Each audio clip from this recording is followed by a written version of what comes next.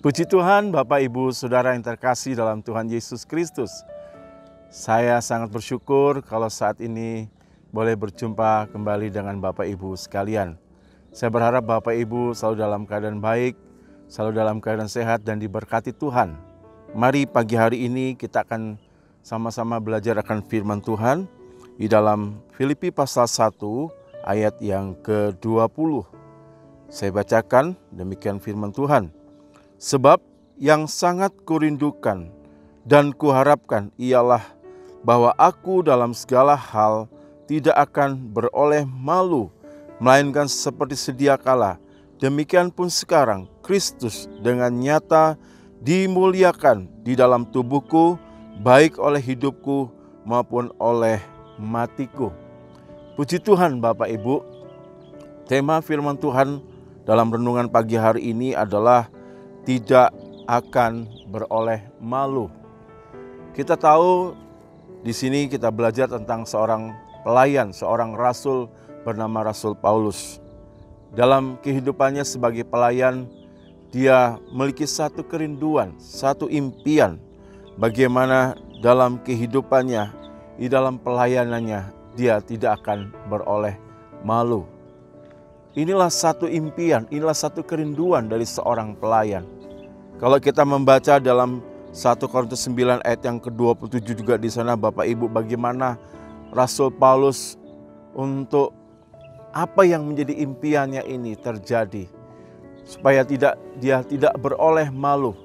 Dan di dalam 1 Korintus 9 ayat 27 dikatakan di situ dengan katakan jangan sampai ditolak.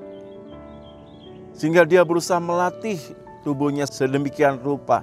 Dia berusaha dalam pelayanannya, jangan sampai dia beroleh malu, jangan sampai dia ditolak. Menariknya Bapak Ibu dalam 1 Korintus 27 itu kalau Bapak Ibu baca di sana, kata ditolak ini dalam bahasa aslinya di situ menggunakan kata adokimos yang artinya adalah terkena diskualifikasi ya atau dinyatakan melakukan pelanggaran sehingga kemenangannya dianggap batal. Kalau Bapak Ibu pernah ya mendengar seorang atlet ya diskor atau didiskualifikasi karena apa? Karena ternyata sekalipun dia sudah menang, dia mencapai garis finish ya pertama Bapak Ibu, kemudian dia didiskualifikasi kenapa? Karena ternyata didapati satu pelanggaran ya, didapati di mana ternyata dia menggunakan doping.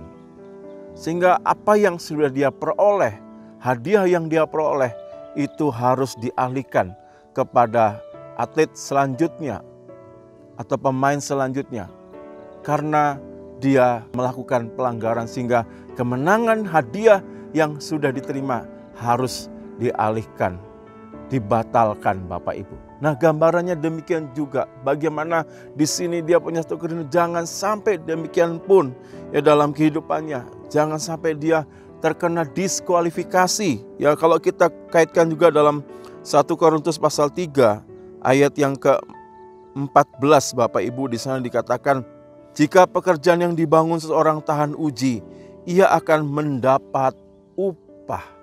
Nah, menarik Bapak Ibu, kalau Bapak Ibu bisa lihat di sini adalah bicara bagaimana seseorang membangun dan dengan apa dia membangun. Apakah dengan emas, perak, ya dengan batu-batu yang berharga atau dengan rumput yang kering, jerami dan lain-lainnya yang mudah terbakar.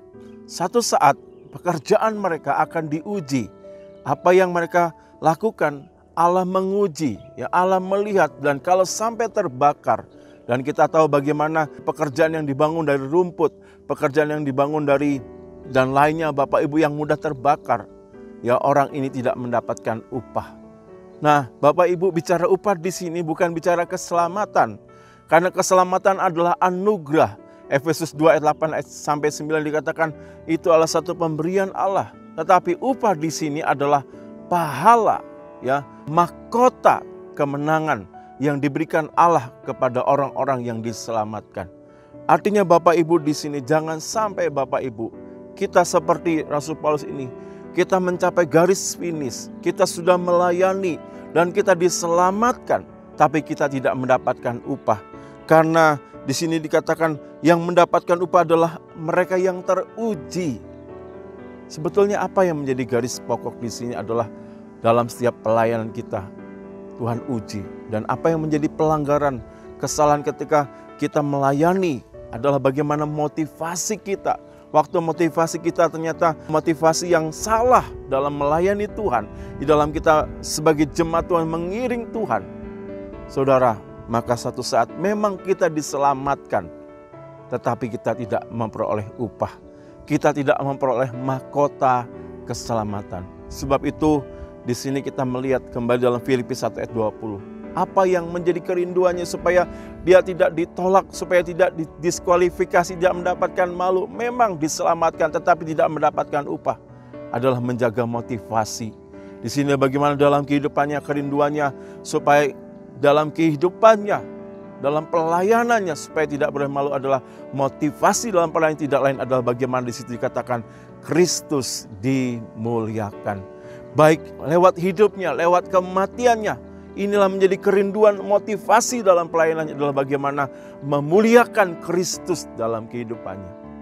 Bapak Ibu, demikian juga kiranya pagi hari ini lewat firman Tuhan yang singkat ini perenungan kita, apa yang menjadi impian kerinduan kita. Jangan sampai kita pun satu saat ya beroleh malu. Kita ditolak karena apa? Dalam kita melayani Tuhan, dalam melakukan pekerjaan Tuhan, kita ya salah dalam motivasi. Kita diselamatkan tetapi tidak mendapatkan upah mahkota keselamatan. Tapi bila Tuhan melihat, Tuhan melihat setiap pelayanan kita dan kita layak mendapatkan upah mahkota kemuliaan. Mari kita berdoa. Tuhan, terima kasih kami bersyukur biarlah apa yang menjadi kerinduan Rasul Paulus itu juga menjadi kerinduan kami. Satu saat biarlah kami juga layak menerima upah yang Tuhan sudah sediakan dalam pelayanan, dalam pekerjaan, dalam pengiringan kami kepada Tuhan. Kini Tuhan baharui motivasi kami. Kalau ada motivasi yang salah dalam kehidupan kami, bukan untuk memuliakan Tuhan, tetapi mungkin motivasi kami adalah diri kami sendiri. Ampuni Tuhan, tapi bila setiap apa yang kami lakukan Kristus dimuliakan. Kristus dimuliakan dan biar setiap apa yang kami kerjakan itu semua boleh menyenangkan hati Tuhan. Lawatilah setiap jemaatmu pagi hari ini. Perbaharuilah motivasi mereka dalam mengiring kepada Tuhan. Biarlah mereka sungguh-sungguh menjadi jemaat yang rindu menyenangkan Tuhan. Dan kami percaya satu saat mereka juga adalah jemaat yang layak menerima mahkota upah yang Tuhan sudah sediakan. Dengan kesungguhan, dengan ketulusan, dengan kesetiaan mereka dalam mengiring dalam melayani pekerjaan Tuhan. Berkati Bapak Ibu Gembala, berkati para pelayan setiap pelayan Tuhan dan setiap jemaat GPD COTW. Biarlah kami boleh bersama-sama bersatu. Kami rindu lebih dekat, intim duduk di bawah kaki Tuhan untuk mengalami hadirat Tuhan dalam setiap ibadah kami. Terpujilah namamu Tuhan, diberkatilah setiap kami yang mau rindu dan melekat kepada Tuhan. Di dalam nama Tuhan Yesus kami sudah berdoa dan mengucap syukur. Haleluya. Amin.